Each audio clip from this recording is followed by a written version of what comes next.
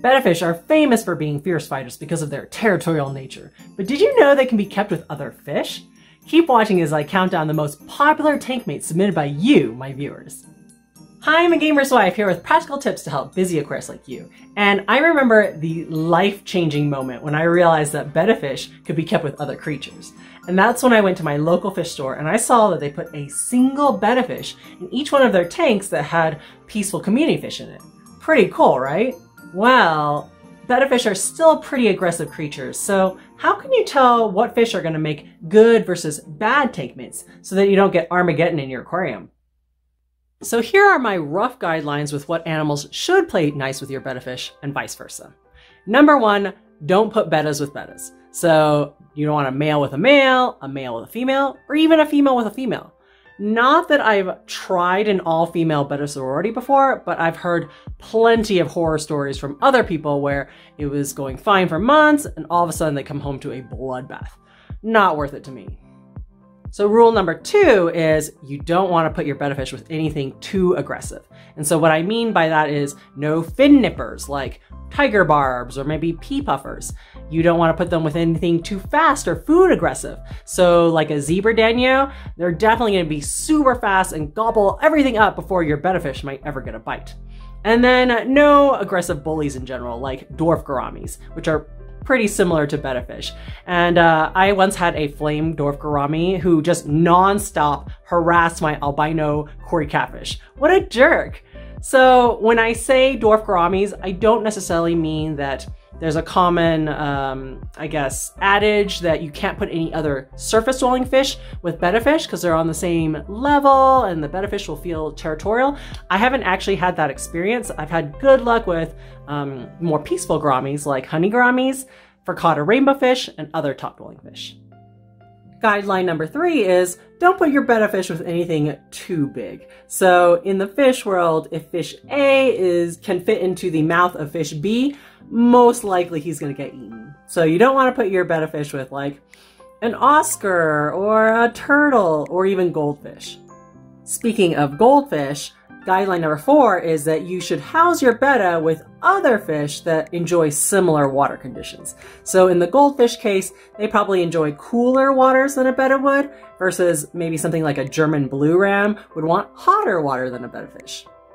So in general, your betta fish can be kept with any kind of tank mate that is peaceful, non-fin nipping, community fish that's somewhat small in size and lives in similar water conditions with the obvious caveat that every betta fish's personality is different, so take note of that.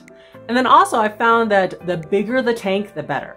So if you put your fish in a five gallon tank, he might attack all his tank mates uh, because he feels like he has to protect his territory. Versus if you put that same betta in a bigger 20 gallon tank, he might be totally chill and get along with everyone. All right, now that we've covered the basic rules, let's reveal our top seven most popular betta tank mates, which was voted by you guys. So thank you so much to the 92 people who responded to my community post. If you haven't already, don't forget to subscribe and hit the notification bell so you'll be notified every time I make a community post. Starting with the least to most popular tank mates, we've got category number four, livebearers. And 16 of you voted that yes, fancy guppies can be kept with betta fish. What? I was really surprised by that because I've always heard that, quote, fancy guppies look too much like betta fish with their long, colorful tails and will be definitely attacked by them. So you guys swear that it works and even said that a pro is the betta fish will help keep the population down by eating some of the fry. So it sounds like a win-win situation. Category number three is invertebrates, and 22 of you say that snails are a must-have for any betta tank because they keep the aquarium clean of excess food and uh, algae. However, dwarf shrimp were also suggested, but about 16 of you were like, yeah, totally go for it as long as you have plenty of plants and cover, while six of you were mm, no way Jose about it, saying, yes, my betta fish definitely attacks shrimp, especially the baby shrimp. I've seen it both ways. When my betta fish Soundwave was young and spry in a smaller 5 gallon tank, he definitely attacked any cherry shrimp, Amano shrimp that he encountered. But once he got older and mellower and I moved him to a 10 and then 20 gallon tank, he didn't really pay attention to the shrimp at all and actually was more interested in stealing their food. The second most popular category was schooling or shoaling nanofish. They're really great because they're usually much faster than your betta is, and then because they hang out in a large group, it's hard for them to single one out. A whopping 27 of you picked tetras as your favorite schooling fish, with over half of you specifically saying neon tetras, or similar other types like cardinal and green neon tetras. I think at a very distant second place was Harlequin rasboras. And then I don't want to forget to mention that three of you did mention that neon tetras might fin nip a little bit, but in general they seem to be a very popular and affordable favorite for most betta keepers.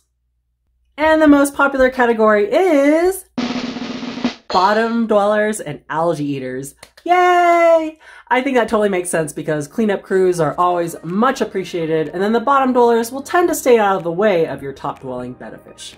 11 of you said that otocinclus catfish were your favorites, probably because they're so peaceful and great at eating algae, while 14 of you really like kuhli loaches. They're nocturnal and tend to be a little shy, so they mostly come out to feed at night when your betta fish is asleep.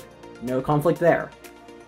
But the strongest contender that wins the title of Best Betta Fish Tank Mate, coming in with an overwhelming 34 votes, which means one out of three of you recommended this fish, is, you guessed it, Cory Catfish.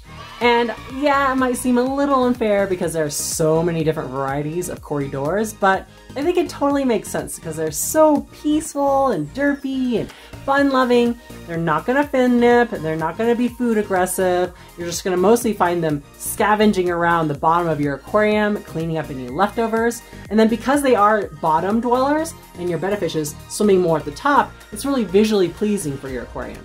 So I totally agree why they made it to the top of the list as everyone's favorite tank mate. If you want to take your betta fish care to the next level, make sure to check out those playlists over here that I've put together for you. In my next release, I'll probably be doing a 2019 version of Meet All My Pets that summarizes all the changes I made to my aquariums this year and what plans I have going on for 2020. So don't forget to subscribe so you won't miss it. Take time to enjoy your aquariums, and I'll see you in the next video.